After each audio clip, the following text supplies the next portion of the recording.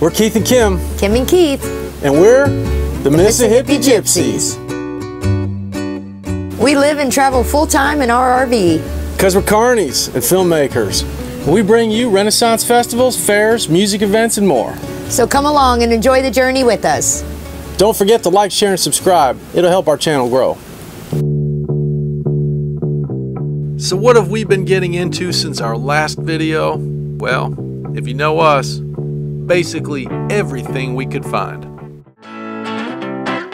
I don't care what people say, tomorrow is too far away. We can leave and they can stay, cause I for one am never gonna change. Ever since I was a kid, knobby knees and lots of lip, I found it hard to listen when they told me to be quiet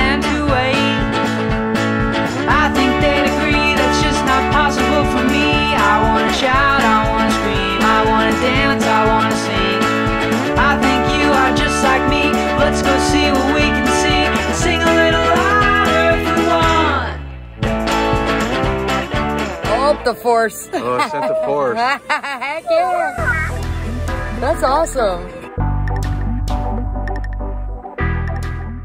So let's start with the Delman Circus. It came to Gulfport, and the tickets were only 10 bucks.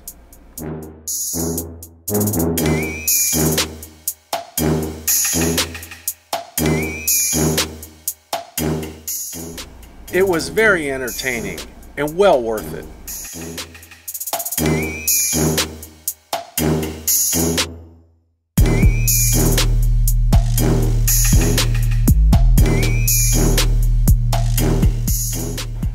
Had the motorcycle globe of death, and not all circuses have this.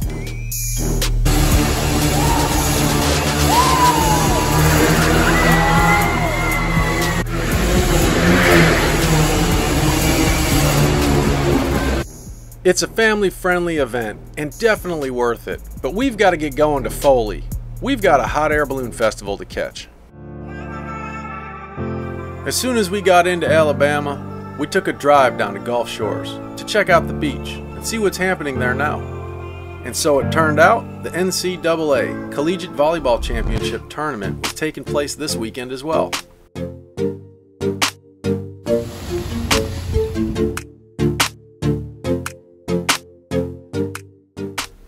Well, enough lying around. It's time to cross the street and explore the tourist traps. Maybe get a bite to eat. Look at that thing.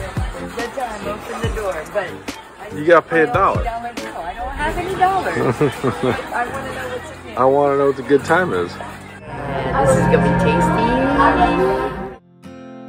tasty. So after lunch, we went to the Welcome Center to get the 411 and what's going on in the 251.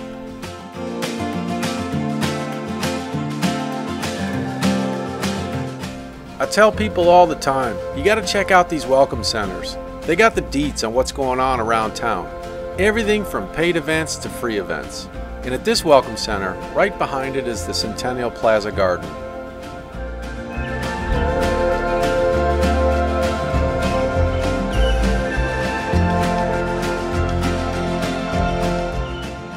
We loved checking out the garden, and it was a beautiful area. But when there's trains involved, I get distracted.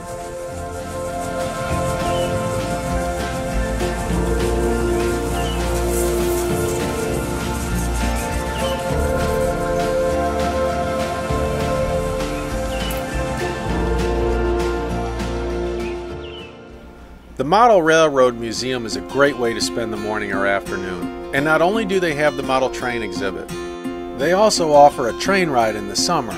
And this is powered by donations and volunteers.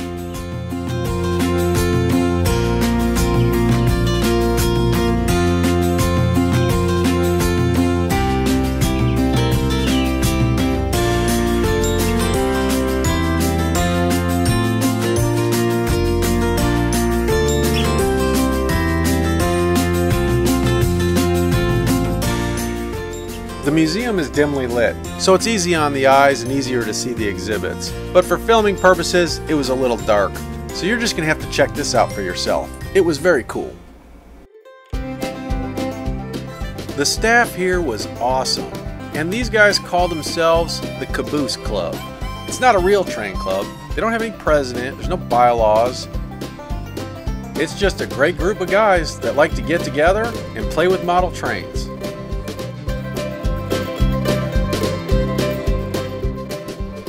The O gauge layout was donated to the city of Foley, and it's the Caboose Club members who build, repair, and operate this very impressive exhibit. The layout was even featured in the September 2019 edition of Classic Toy Trains. Over the past few years, I've noticed a resurgence in toy train collecting. More museums are popping up across the country and it's not just these very valuable layouts that are resurfacing after being hidden away in basements. Private clubs and organizations are going public and building new layouts with visitors and guests in mind, and joining a club is even easier than before.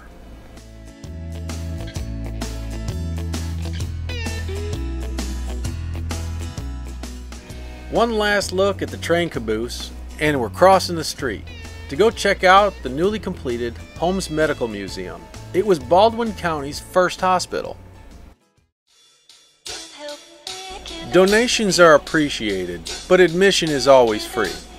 You can take a step back in time and see what medicine was like back in the 1930s and 40s. And believe me, you'll appreciate the times now. This device was supposed to cure a migraine. That was the thought but it's basically a handheld electric chair. And yeah, you got that right. You take a sponge, wet it, put it on your forehead, and hang on to two electrical rods.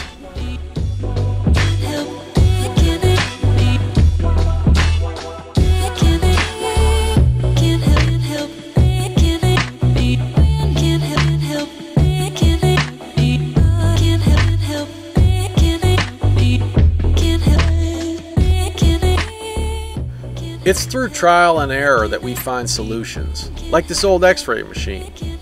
But this room of quackery is where you'll find all sorts of hold my beer moments in medical history.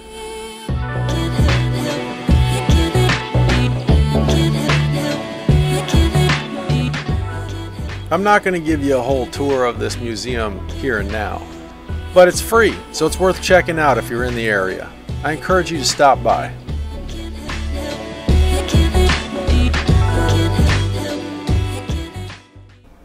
So it's time to get something to eat before we head over to the Hot Air Balloon Festival.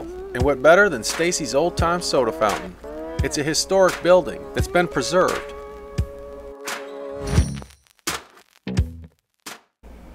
This is the OWA, OWA. Now that doesn't stand for anything, it's just called the OWA. It has its own downtown district, and it's the home of Tropic Falls and the Foley, Alabama Hot Air Balloon Festival. Yeah, it's like a town. So Tropic Falls is a huge water park and they have all kinds of these bars, pubs, restaurants, stores, shops, even has a Cinnabon, a whiskey bar, plenty of water, and just over the bridge is where you'll find this year's Hot Air Balloon Festival.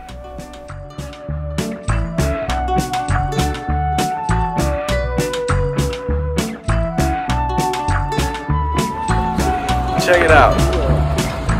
This is the Hot Air Balloon Festival in Foley, Alabama. Oh, we're so excited. I, we've been waiting for this for over a year.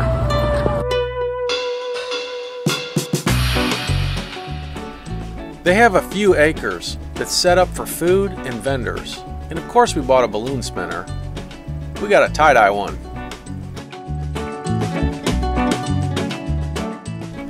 These are all handcrafted goods, and over the years, Kim and I have gotten away from online shopping, and we shop local now. This OWA attraction is just awesome, and it's free to get in there.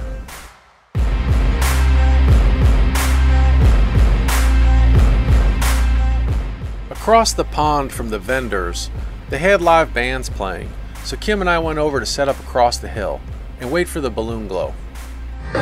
Hey, this band is called the Funky Lampshades. And for those of you that know me personally, you'll know why that's ironic. If you live on the Gulf Coast and you haven't checked this out, you should. It's awesome. It's a three day event Friday, Saturday, and Sunday. This is the Friday night Balloon Glow.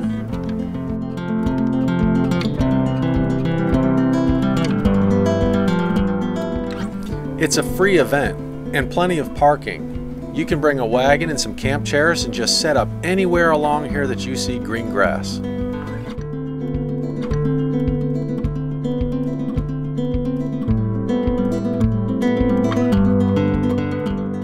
Every day of the event that they're able to, they'll fly a few balloons, and then they do a balloon glow at night.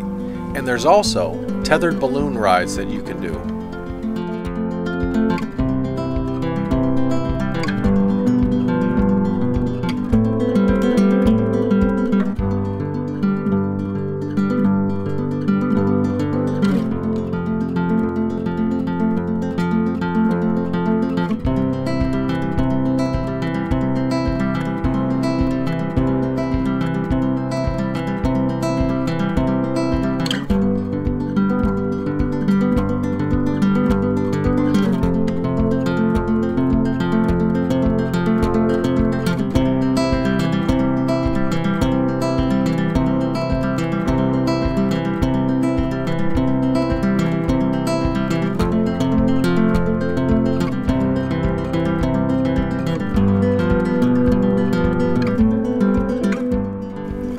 This is the type of event where you don't have to do anything. You just have to be present. Bring a chair, listen to the band. All of these folks sat with us for hours, all in good company, and we had a great time watching these balloons light up.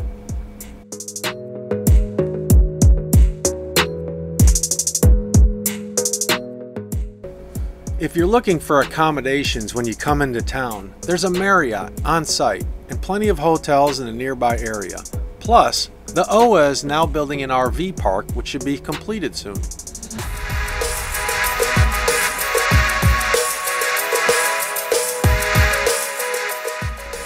They have about 50 balloons in attendance at this point, and year after year, more and more show up.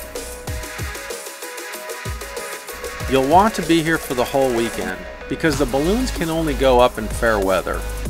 And we're glad we did because this was Friday night. And Saturday, well, that was a different story. Look, it rained uh, All day. all day. We did not come appropriately dressed. We were well aware we look ridiculous. We look, we look a fool. we didn't even think about it. We had a great time, and we'll be back next year. But now, we got an invite to the Georgia Renaissance Festival. Thanks for watching, and we'll see you at the fair.